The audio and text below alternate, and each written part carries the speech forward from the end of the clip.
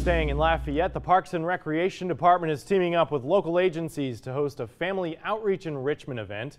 The event, part of the department's Building Adults Through Athletics program, aims to meet the educational needs of parents and the physical, social, educational, and health needs of Lafayette children.